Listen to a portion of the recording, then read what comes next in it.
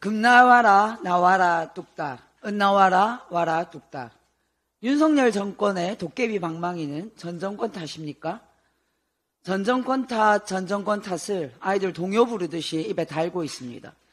이런 해석도 있습니다. 윤석열 정권과 국힘당은 진정한 대선 불복 세력이다.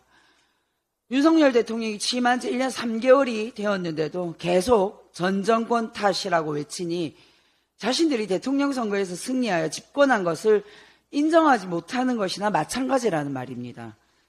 윤석열 정부와 국힘당은 지난 2022년 3월 9일 치루어진 대통령 선거 결과에 깨끗이 승복하고 이제 전 정권 탓과 남 탓은 그만하고 국정을 진정으로 책임지시기 바랍니다.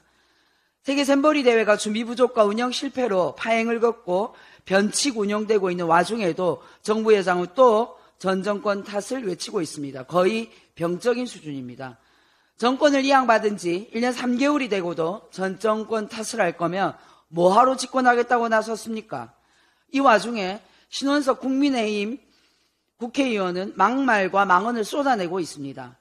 국힘당은 신원식 의원의 입장이 국힘당의 입장을 대변하고 있는 것인지 입장을 말씀해 주십시오.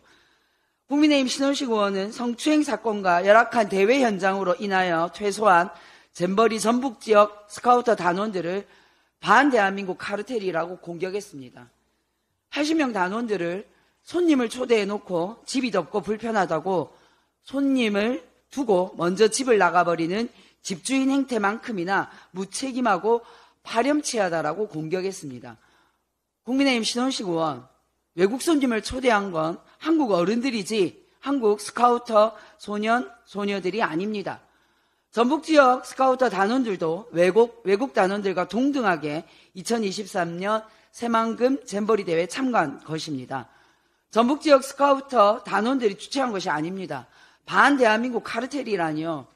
이게 엉망진창 잼버리 대회에서 폭염과 성추행 의심 사건으로 상처받은 청소년들에게 할 소리입니까? 책임 회피에 눈이 멀어 이성을 상실했습니까? 그리고 전북 스카우터 단원들보다 먼저 퇴영을 한 것은 수천 명 영국 단원과 수천 명 미국 단원입니다. 대통령께서 수천 명 영국과 미국 스카우터 단원들을 극진히 돌보라 했다던데 퇴영한 영국과 미국 스카우터 단원이 아닌 한국 스카우트 단원들은 반 대한민국 카르텔이라고 비난받아야 합니까?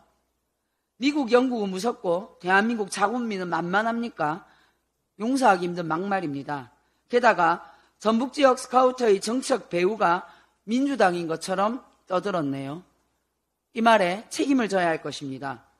물론 새만금 2023 세계 잼버리 대회가 더 이상 사고 없이 안전하게 마무리되도록 하는 것이 제일 중요합니다. 그러기 위해서 윤석열 정권과 국힘당은 막말과 망언을 배설하는 정부 여당 측 인사들의 위험한 입부터 봉쇄하시기 바랍니다. 무능을 전 정권 탓으로 가릴 수 없습니다.